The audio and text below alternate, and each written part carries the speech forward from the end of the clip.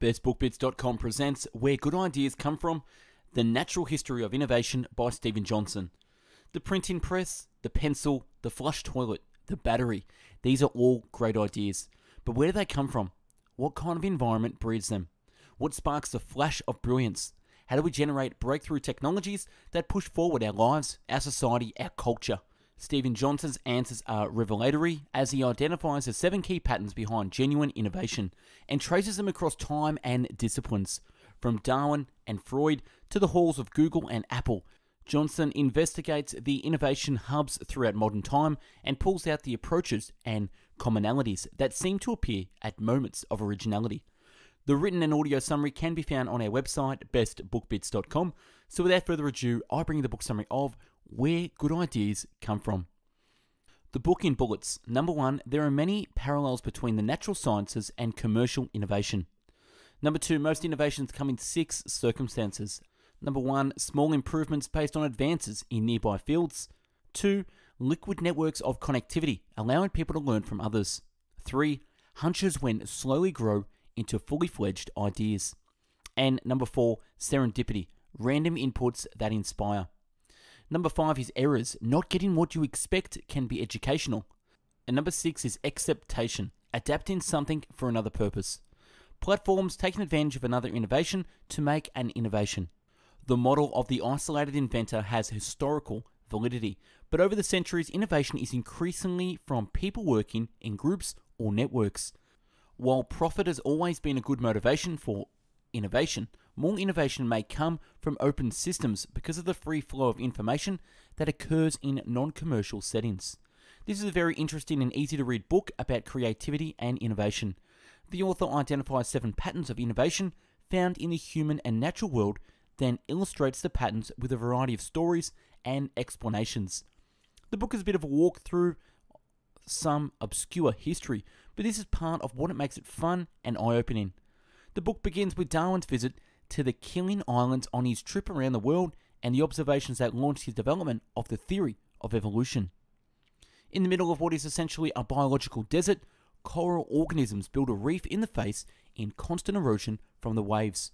Each coral organism is a tiny and no match for the wave, but bit by bit, the organisms, by working together, build a structure that resides erosion overall. The coral atoll is a triumph of the incremental growth and becomes the foundation for an incredibly dense and diverse ecosystem. This is Darwin's paradox diversity in the desert. Jumping ahead 100 years, Max Kleiber discovered that the heart rate and metabolic rate could be predicted across a huge range of organism sizes by simple negative power laws. Power law, which helped integrate biology and physics. Jumping ahead another seven years, Geoffrey West led a team that showed that the same power laws apply to the structure of cities. Cities are like large organisms, really large ones, but some functions do not follow the metabolic power laws. For example, creativity linked activities tend to follow positive power laws, increase the population of a city by tenfold, and innovation increases 17 fold.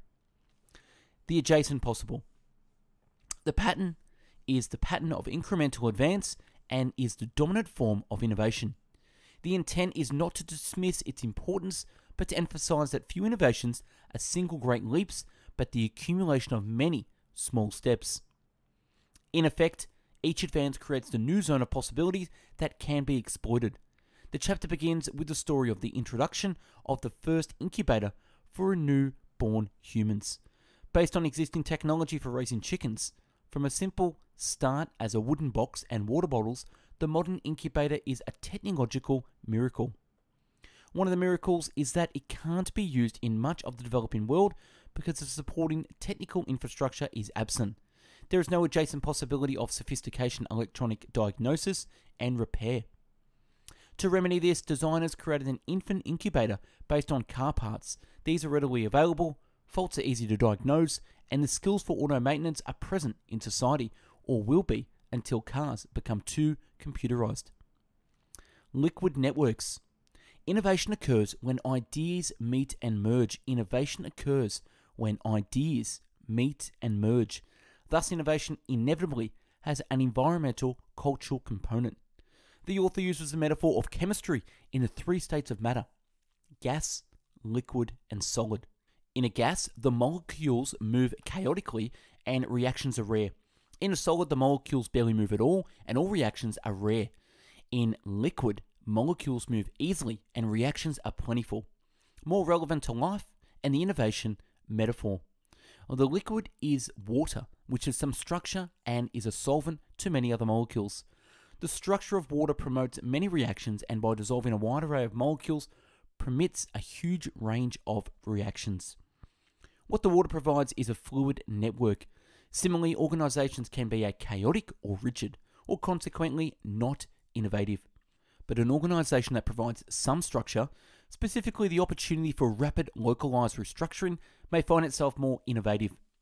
In this sense, large cities have some structure but a lot of fluidity of potential relationships. Innovative people with part of a big idea are more likely to encounter another person with a related part of the big idea and be able to find a cheap place to set up shop and find customers and financing and media to advertise. These networks affect, support ideas colliding, and then bring board to action.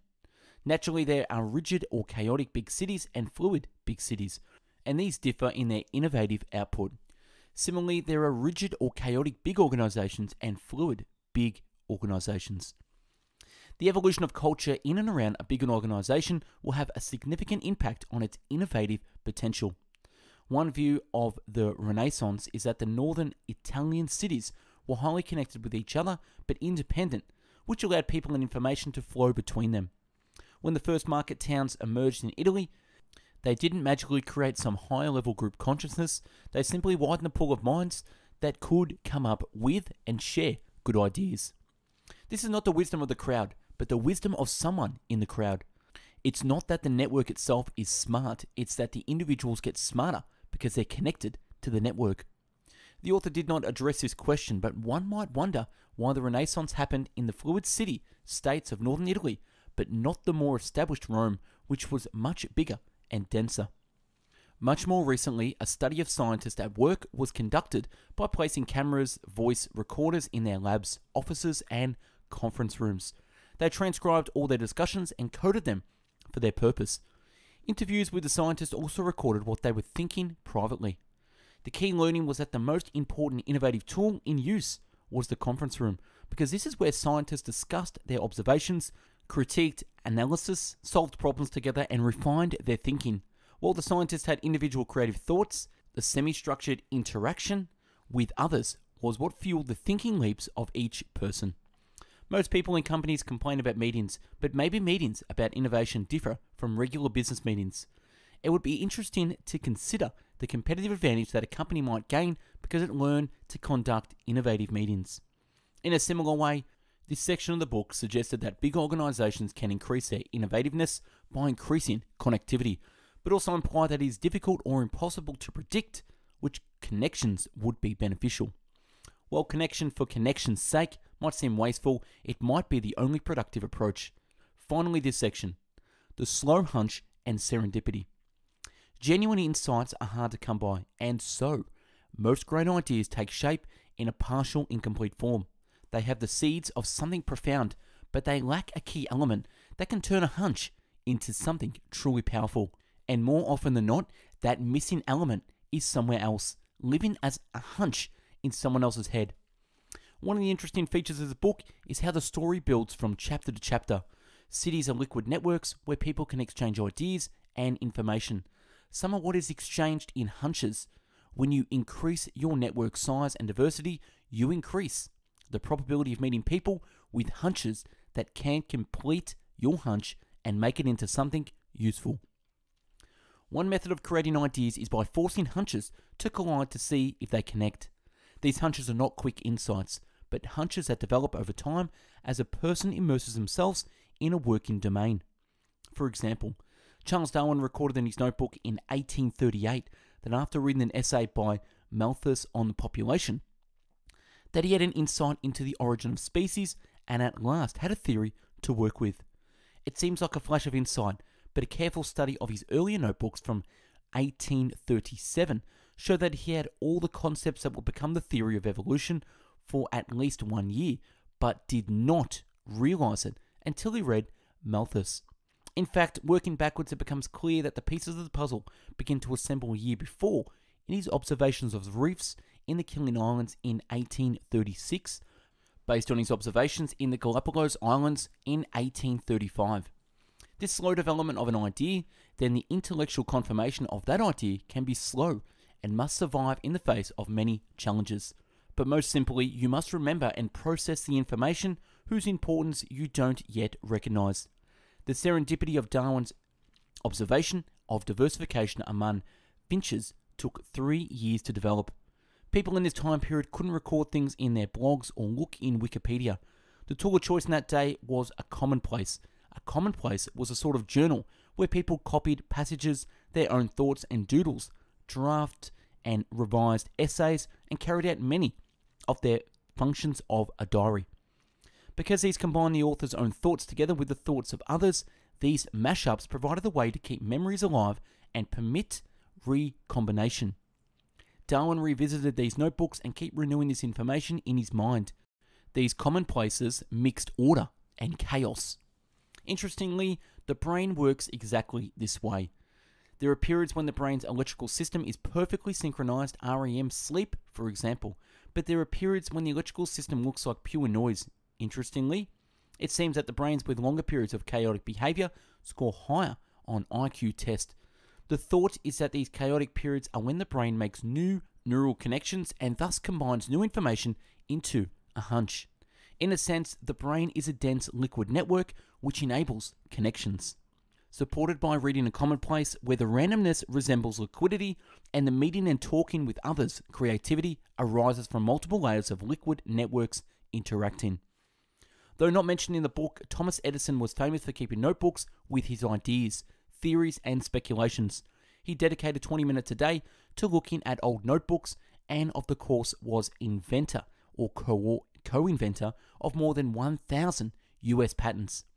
The World Wide Web originated from the slow development of a commonplace by Tim Berners-Lee, and today the web is the greatest and messiest commonplace in history.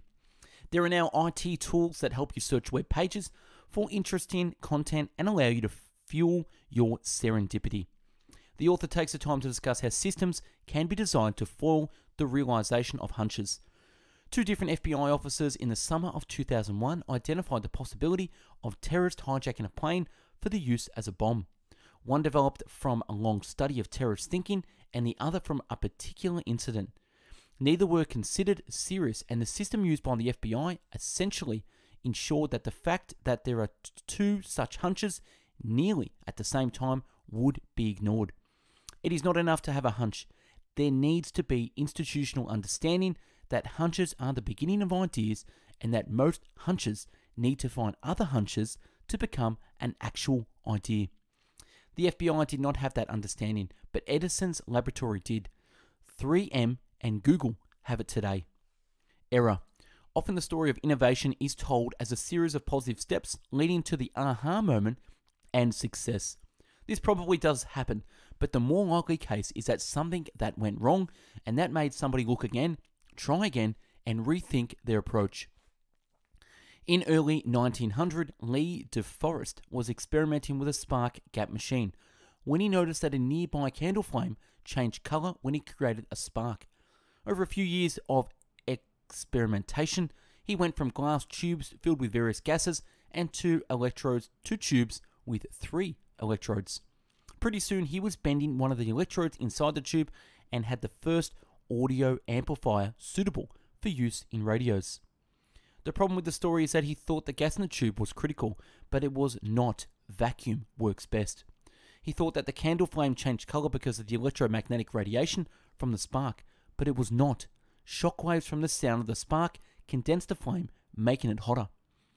Originally an amplifier, it turned out to be a switch and the foundation of semiconductors, which are the foundation of modern fast computers, which are the foundation of the digital revolution.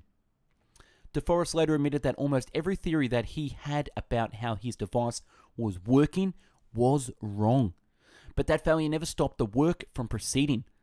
The original stories of antibiotics, photography, pacemakers, the discovery of oxygen, the Big Bang, and Teflon all include some significant failure event. What is significant in these stories is that somebody eventually perceived the event not as a mistake, but as an observation. In the section of liquid networks above, the recordings of scientists meeting were discussed. One interesting observation of the scientists at work was that when a scientist reported on an experiment gone wrong, their usual explanation was that they had made a mistake. But others who were not part of the experiment would interpret the results as a novel observation and suggest experiments to confirm the new observation. Sometimes they were mistakes, but sometimes they were discoveries. Being right keeps you in place, being wrong forces you to explore. Charles Nemeth conducted a psychology experiment with groups of people. In the base experiment, subjects were shown a group of slides using a basic color scheme and then asked to report on the color. It was green.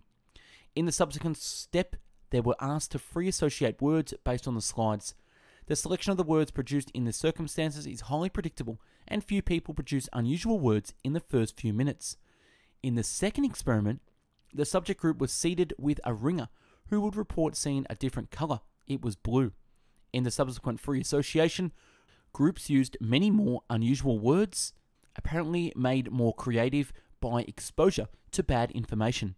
Examination of other situations shows that more creative thinking occurs in environments with more noise, where disagreement is common and data is not clean. One perspective on efficiency is that perfection improves quality and efficiency, but an alternative view is that the lack of noise in a perfect environment disables our ability to make new connections to see things differently. It is a surprise that teaches us, not the confirmation of what we expect. Exaptation. Exaptation equals external adaptation, where an idea or method from one domain is applied in another domain. For example, Gutenberg adapted the wine press to work as a printing press. Exaptation is a complementary to the idea of the adjacent possible. The web that existed today is exapted from the combination of a backup telephone system developed by the military and a computer language developed to share academic data. Analogy and metaphor are tools of exaptation. Exaptation relates to the importance of cities in innovation. Where cities grow bigger, they become more diverse. A big city has more different industries and businesses than a smaller city, and the more opportunities to observe other people at work. Martin Ruff studied the social networks of the Stanford Business School graduates. The most creative graduates measured by patents, product introduction, businesses started, etc., generally had the most diverse networks that extended beyond their own organization and included people with very different backgrounds. These people were able to connect a wide range of examples to their own situation and extract solutions. Another other studies show that the most innovative people within organizations often form bridges between groups and can reapply solutions from other contexts into theirs. Apple offers an interesting counterexample.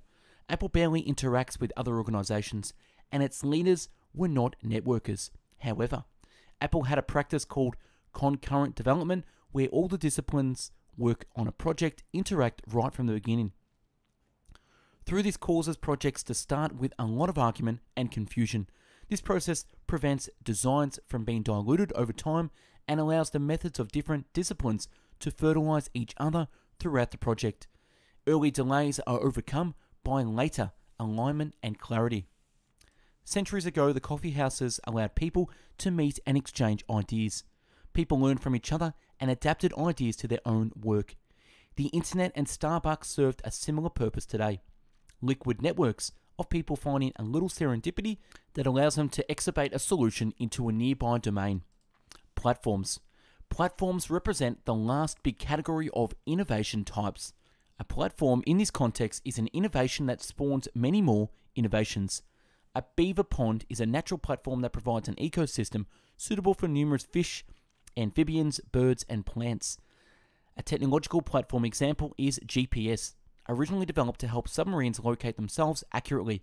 The technology has been expanded to help motorists find their way, cyclists to track their rides, and Twitter users to attach their tweets to a location.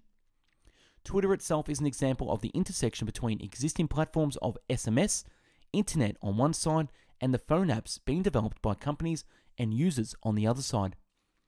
Building Twitter from scratch would have been impractical, but building by repurposing other technologies made its development very feasible. Twitter's developers made another critical decision that made its platform more attractive. They open sourced essentially everything. Users developed the at and the hash conventions. Companies built apps.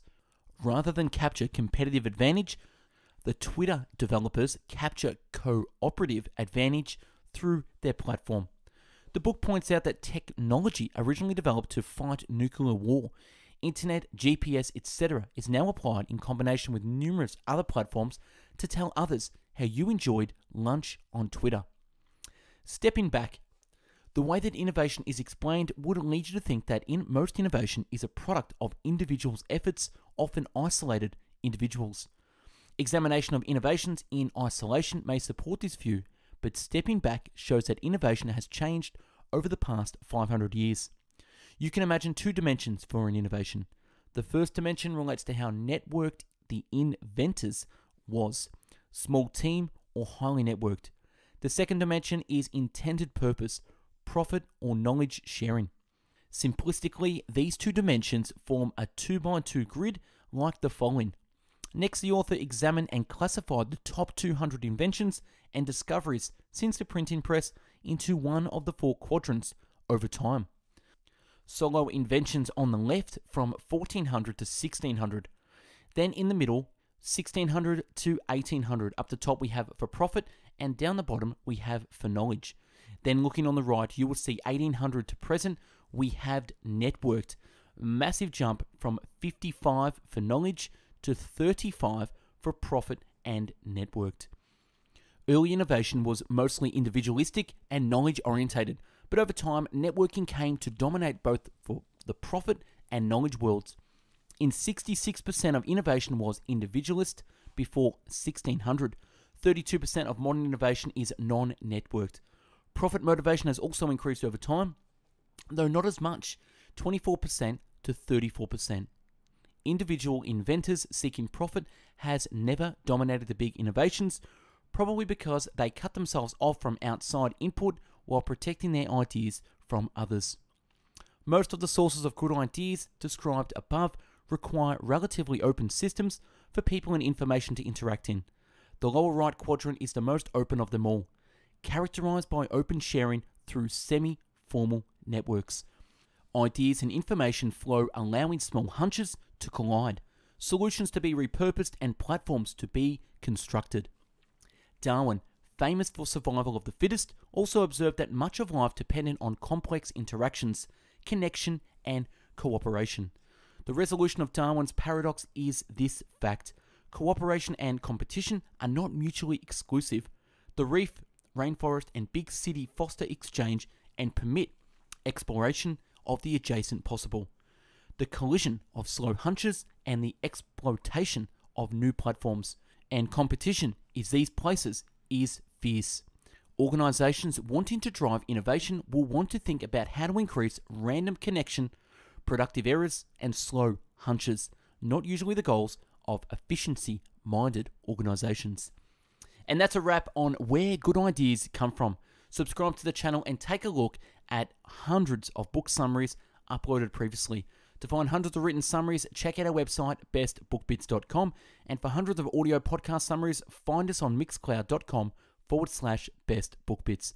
If you like reading and want to connect and get involved in sharing knowledge and spreading great book summaries, connect with myself by emailing info at bestbookbits.com to join us. Thanks for watching and listening, and have yourself an amazing day. Take care.